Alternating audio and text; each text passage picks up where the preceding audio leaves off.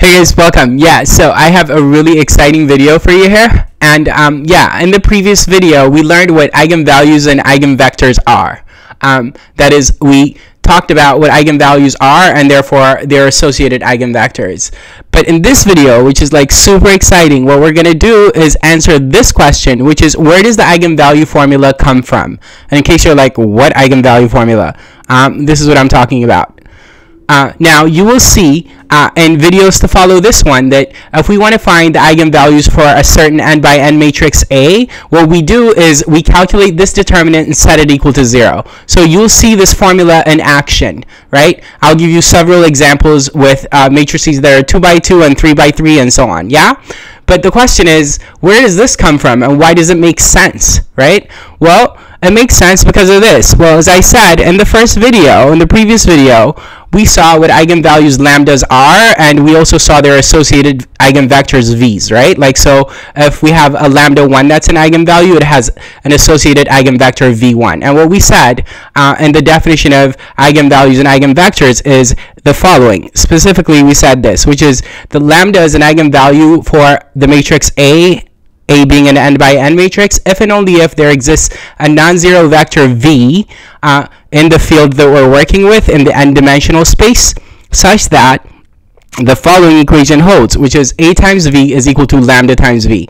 A couple of things to just backtrack on. First, this means in math there exists, and also as you'll see shortly, the fact that uh, the eigenvectors v associated to the eigenvalues lambda not being zero will play a crucial role, a crucial role, and the rest of what is to follow. Yeah.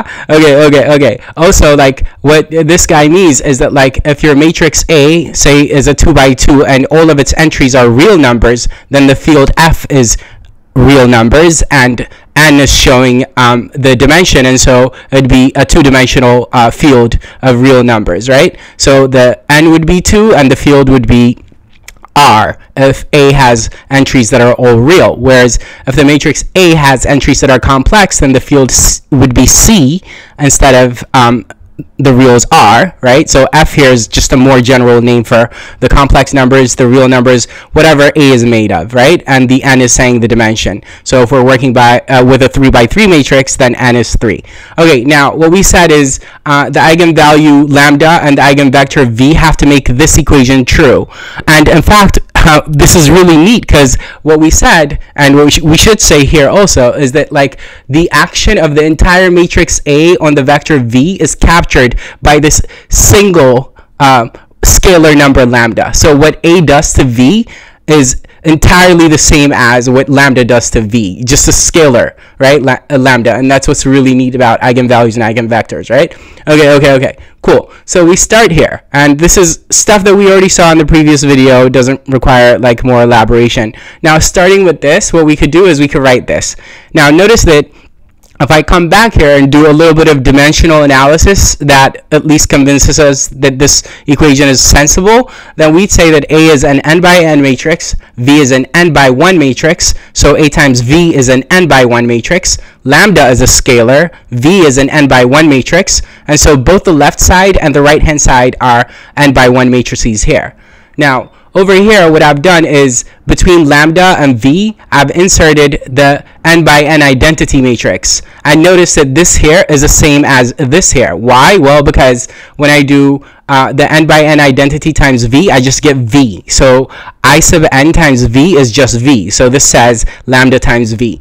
But why did I put the i sub n in here, you will see shortly why this is clever. Yeah, because what we can do next is we could say that this here, which is the same as this here, is the same as the following. And, um, well, all I've done to say that this here is the same as this is I've put everything on one side. That's all. But then in our next step, we could factor out a v. And it is here where you will see why writing i sub n between lambda and v was crucial. Because, now, once I factor out a v from the left-hand side of this equation, I get this, right? But then, now I have v here, which is n by 1 as we already said. But in order for a minus lambda times i sub n to make sense, lambda times i sub n needs to be an n by n matrix, because a is an n by n matrix. And so we can only su subtract two matrices that are of the same dimension. And so it is, for this reason, why it was really clever to have I sub n right here. Yeah? Okay, cool. Now, remember, we said the V is not equal to zero. So V is a non-zero matrix. So we have one matrix. This here is just a single matrix if we work it out, right? Like we have this matrix times V. Okay, so it's very tempting right now to say that since V is not zero, this matrix here must be equal to zero. But that's careless thinking, and this is why. Well, what we can say instead of saying that this is equal to zero is we can say that this here is not invertible. So this here does not have an inverse, to put it differently.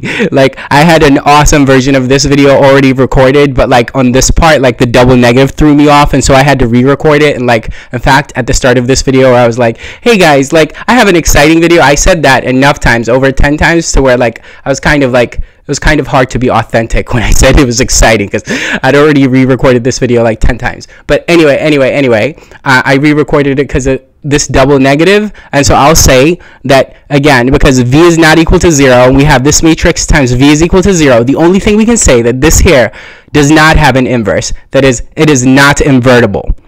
We cannot say that this here is equal to 0 why you say? Well because uh, because uh, first um, just to see this easier and to say what we said easier, let's just call this here, as I said, which is a single matrix, let's call it B. Then what we're saying is uh, B times V is equal to 0. But again, because we said V is not equal to 0, B here we cannot assume is equal to 0. Because we can have two non-zero matrices multiplied and still get the zero matrix. And therefore, we can't automatically just say B is equal to zero. That is, we can't just say this here is equal to zero. However, we can say that this here is not invertible. That is, this here does not have an inverse. And we'll see exactly why we can say that this does not have an inverse, but why we cannot say that this is equal to zero. Let's start with the latter. Let's see why we can't just assume that this is equal to zero. Well, for that, to convince you, I said that we can have two matrices that are non-zero multiplied to get a zero matrix. So let's just provide an example of exactly that and that will suffice for uh, showing why we can't just assume that uh, the matrix B and therefore this is equal to 0. Because we can take B to be this matrix and we can take V to be this matrix. We can multiply two non-zero matrices and still get 0. Because if you multiply this matrix and this matrix, you'll get the 0 matrix. But notice obviously that this is a non-zero matrix and this too is a non-zero matrix. But as I said, the fact that uh, this here is equal to 0 while v not being equal to 0 will necessarily mean that this here which is b is not invertible. That is b does not have an inverse. To see why well let's assume that b does have an inverse. That is let's assume that this here is invertible.